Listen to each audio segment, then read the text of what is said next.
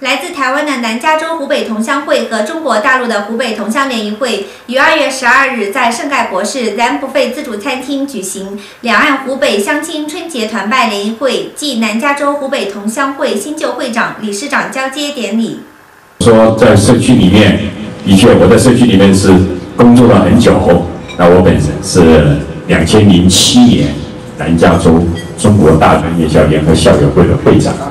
那么，既然嘛，这些时候嘛，我一直在社区里面帮忙服务。那么，唱歌是我的嗜好，啊，渐渐的成为我的 hobby。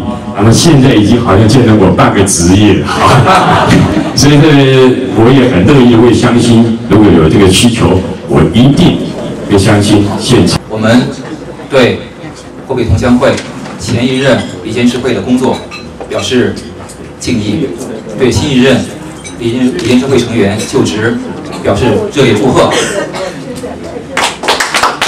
朋友们，湖北是中国华中地区啊开发开放比较早、经济比较发达的地区。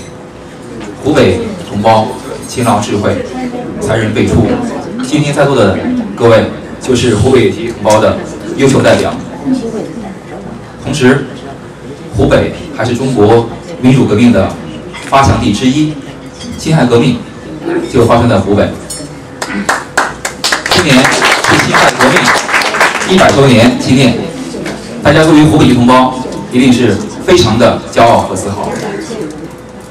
朋友们，多年以来，湖北同乡会等湖北侨团积极开展会务，联络会员感情，促进会员福祉。刚才这个哀悼仪式，就体现了同乡之间的。真挚情谊，我们深受感动。大家关心和支持回家乡和中国的发展建设，啊，给予了力所能及的便利。同时，大家关怀啊遭受自然灾害和疾病侵袭的中国同胞，啊，给他们送去了温暖，体现了同胞之间的乡情和亲情。